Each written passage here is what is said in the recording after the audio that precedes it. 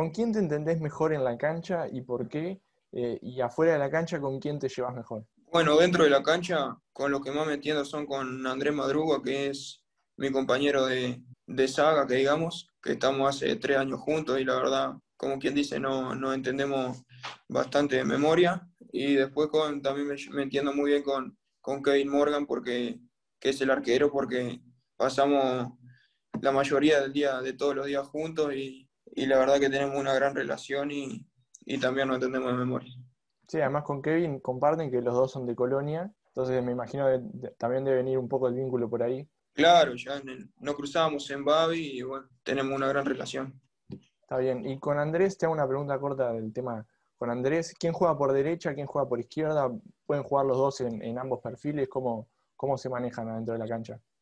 No, la verdad que podemos jugar los dos en, ambos perfiles, no tenemos ningún tipo de, de problema, es más, a veces quedamos a perfil cambiado y, estamos unos minutos a perfil cambiado y no, no nos dificulta para nada. Está bien, normalmente, ¿quién juega por derecha y quién juega por izquierda? Y en un principio, ahora estamos, yo juego por izquierda y él por derecha, pero en séptima era al revés. Él jugaba por eh, yo jugaba por derecha y él jugaba por izquierda. ¿Sos, zurdo vos? O sea, ¿estás jugando a pierna natural o jugás a, pierna cambiada? No, yo estoy jugando a pierna cambiada. Un poco también, ahí jugando por izquierda, eh, aprendes a manejar el, el, otro perfil y eso que también es importante en la formación. ¿Cómo, cómo vas llevando esa zurda? Y bueno, ahora hace, hace un año casi que, que, que vengo, un año, un año y medio que vengo jugando por izquierda y siento que he mejorado bastante, pero que queda todavía por mejorar y hay que seguir trabajando. ¿En qué sistema de juego te sentís eh, más cómodo, que sentís que podrás dar el, mejor rendimiento?